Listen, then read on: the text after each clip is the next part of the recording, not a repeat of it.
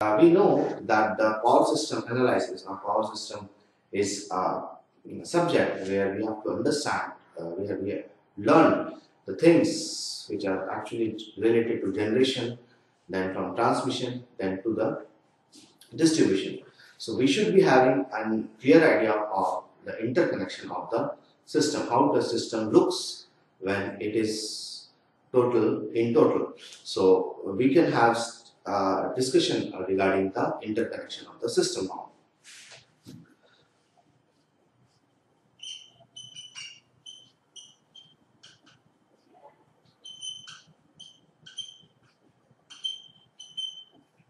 Interconnection of the power system supply system.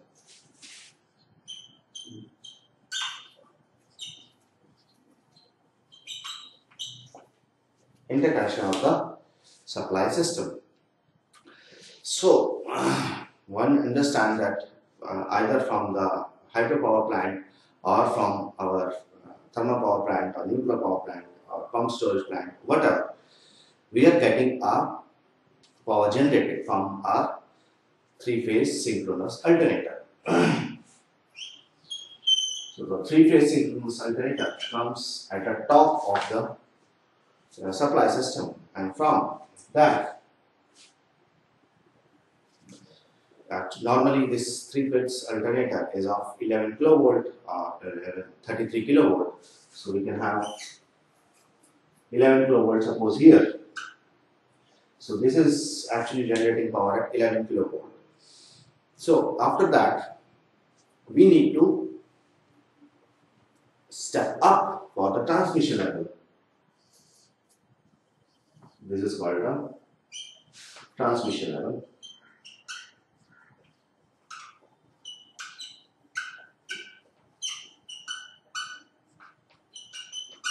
This is called the transmission level where we have to have the step up of the 11 kilovolt to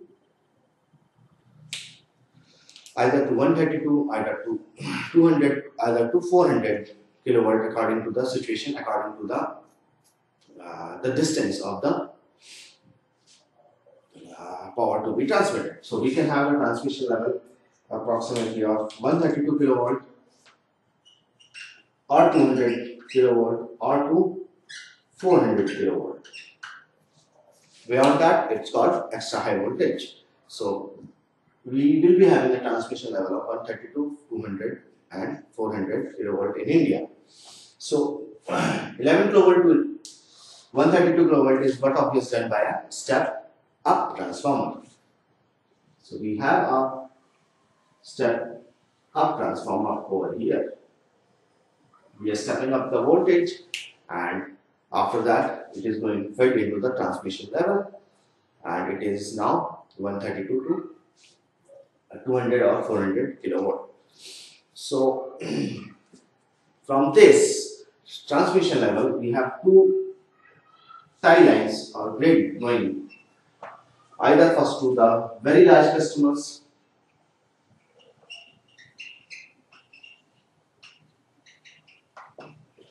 either to very large customers or other to other grade.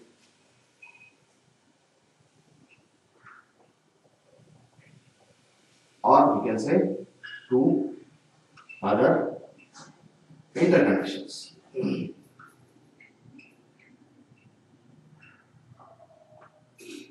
We know the uses of interconnections, but we will be discussing them in uh, detail afterwards. But till now we can understand and till now uh, due to some knowledge of our system we know that why the interconnection is used because once if the one grid is failed so if the electricity supply is not uh, stop at that time we can have an interconnection and we can have the supply from some other generating plant such that there is no interruption in the supply system.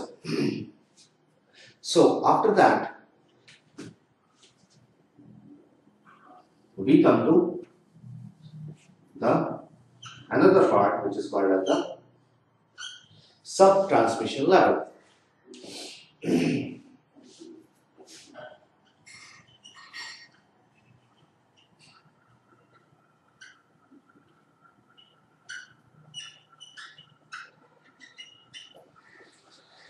The subtransmission level and the transmission level are actually connected by a transformer. Again,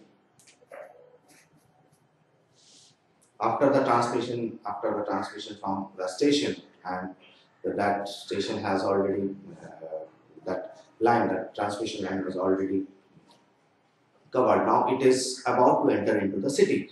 Uh, so we have having a, again a transformer in between that will be actually decreasing the voltage or we will be having a uh, decreasing the voltage by a step down transformer. So this transformer would be a step down transformer. Again, from here we can have two different lines. Here we will be having large customers and here we can have large customers and to other small interconnections. this sub-transmission level is for approximately for 66 kilo volt. After that, again, my customer is not reached till now, so we need to have a again step down in voltage and we'll be coming to the primary distribution and the secondary distribution. we will be having two parts now.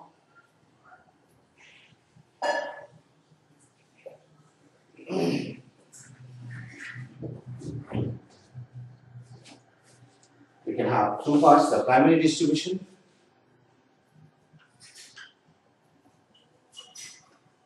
and the secondary distribution.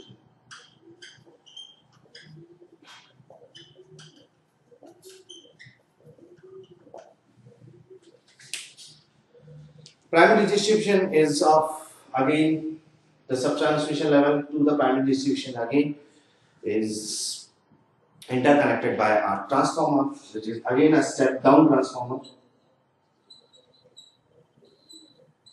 and we made 66 kilovolt to either to 33 kilovolt or 11 kilovolt. So in the primary distribution I have 33 kilovolt or 11 kilovolt whatever is required at that time. Coming to the secondary distribution, secondary distribution is again stepping down of this which we have seen by uh, which we have, we have not shown over here. Again secondary distribution is of 400 volts which is in three phase right now. So this 400 volt is actually given to the customers.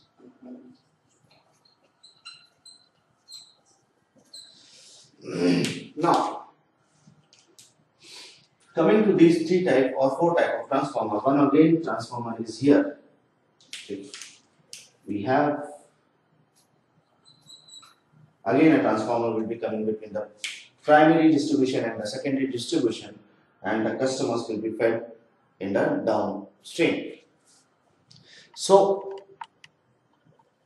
what is the use of this interconnection supply system? We understand how the uh, power is flown from the generating plant to the customers. We can have a quick look on this again.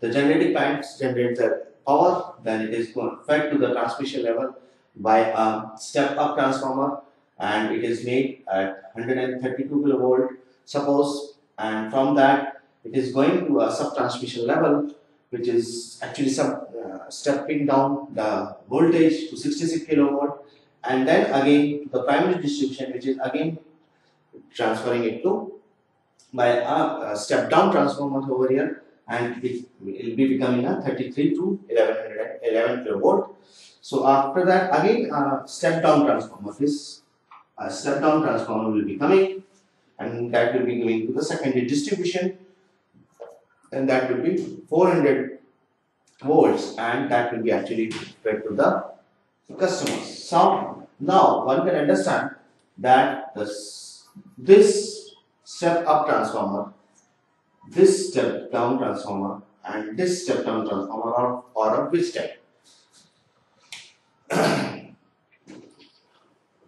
what is these type of transformer? These are called as the power transformers.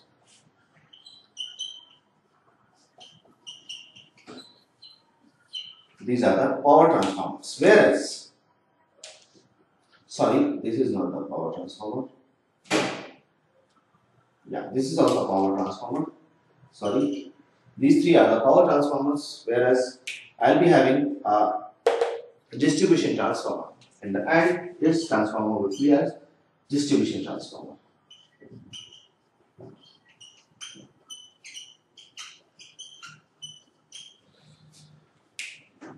Here, one more thing will be coming.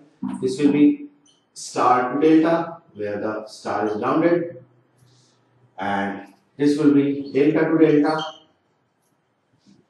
This would be delta to star. The grounded, the secondary is grounded, and this would be your again delta to star because we need to have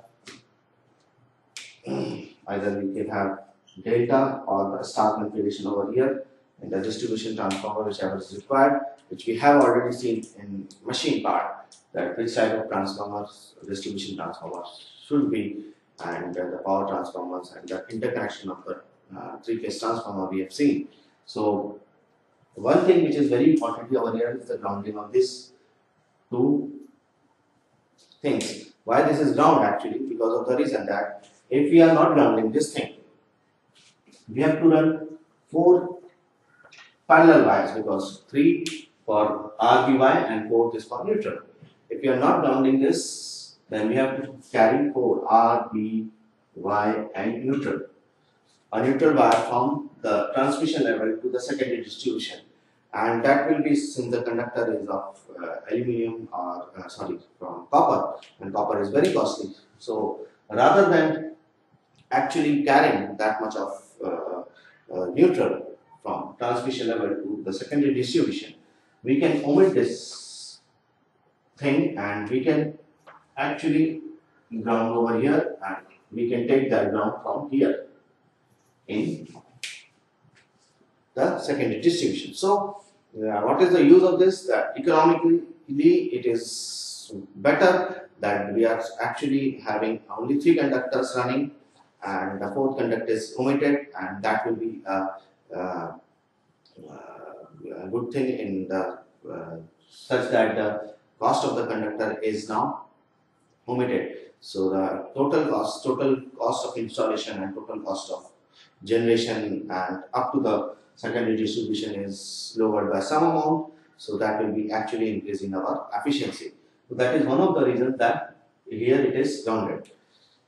The fourth conductor neutral is grounded over here and taken from here.